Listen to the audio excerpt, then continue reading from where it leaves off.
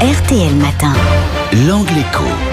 7h44, l'angle écho avec vous François Langlais, à peine investi, le nouveau secrétaire général de la CGT Philippe Martinez a tenu des propos fracassants en préconisant non plus les 35 heures mais bien les 32 heures généralisées. Oui, peut-être que personne ne lui a dit qu'on était en croissance zéro. Vous vous souvenez de ce film euh, Hibernatus? C'était un personnage du 19e siècle qui avait été congelé et qui se réveillait 100 ans plus tard mhm. en croyant qu'on roulait toujours en diligence. Eh ben, la CGT, c'est un peu Hibernatus. La glace vient de fondre et il croit qu'on est toujours dans les années 90, 1990. Parce que Philippe Martinez nous explique que c'est en réduisant le temps de travail qu'on va mettre les chômeurs au boulot. Ça rappelle des temps anciens. Les 35 heures ont justement 15 ans et quelques jours. Le nouvel homme fort du syndicat revendique ce côté rétrograde, d'ailleurs, puisqu'il nous dit, je cite, être à contre-courant, c'est donner des perspectives. C'est ce qu'on appelle à la Sorbonne un oxymore, vous savez, c'est-à-dire dire deux choses contradictoires en même temps. C'est comme l'obscure clarté, la croissance négative ou la vitesse lente. C'est bien trouvé, mais on, se demande si c'est très efficace comme mot d'ordre syndical. Mais il y a quand même des Français qui sont à 32 heures par semaine. Oui, certains agents de la sécurité sociale, les mmh. conducteurs de train, les égoutiers de Paris. Bon, c'est quand même des professions sous statut public dont le salaire est payé par le contribuable ou l'usager. Dans le privé, c'est autre chose. Il y a bien des entreprises qui l'ont fait, dans l'industrie généralement, mais avec des contreparties de flexibilité et souvent des baisses de salaire. Et, elles l'ont fait sur une base locale. Généraliser les 32 heures, ça serait une autre paire de manches. Alors vous évoquez les, les 35 heures. Leurs défenseurs expliquent aujourd'hui que lorsqu'elles ont été mises en place il y a 15 ans, jamais la France n'a créé autant d'emplois. C'est vrai, mais, mais ici aussi, il ne faut pas confondre simultanéité et conséquence.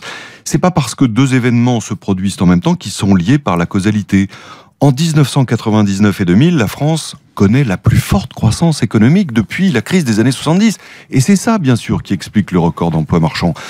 Avec le recul, les créations d'emplois liées aux 35 heures, elles ont été très faibles.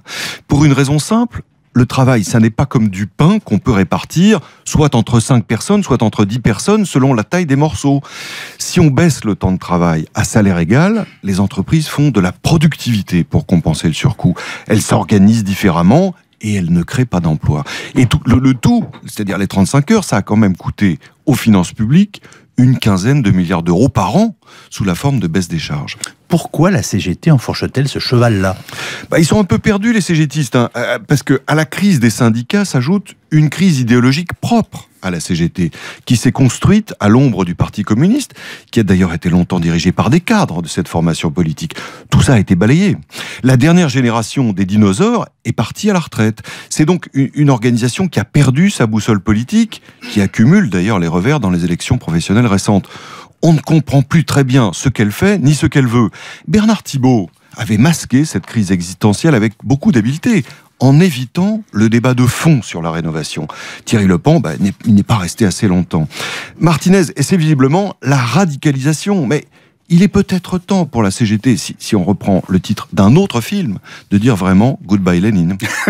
Alors je crois que j'ai retrouvé la phrase de ah, qu'on va l'appliquer à Monsieur Martinez. On va dire Monsieur Martinez a son avenir devant lui. À chaque fois qu'il se retournera, il l'aura dans le dos.